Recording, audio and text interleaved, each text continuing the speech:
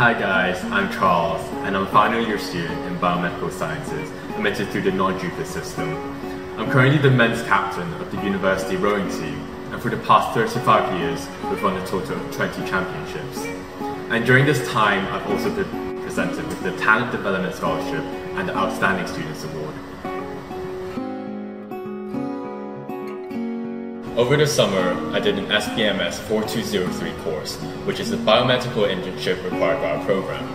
The course is specifically for students who do not want to opt for an academic research career, but those who want to explore in an industry. In the recent semester, the program has secured internship places offered by 11 companies last year, so you should know you have plenty of options to choose from.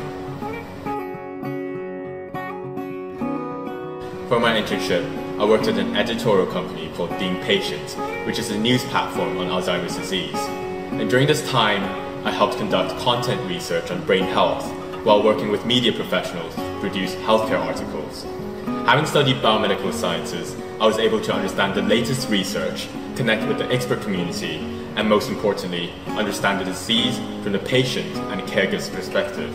On the other hand, this internship gave me insight into different marketing strategies used to promote our articles and also some hard skills on some basic graphic designs, which allowed me to develop my skills as a potential analyst, business manager, or even consultant in medical field. Even during COVID, our school and program have tried the hardest to provide the best education and learning experiences for all of us. So I'm very thankful for them for giving me one of the most fruitful experiences in my life.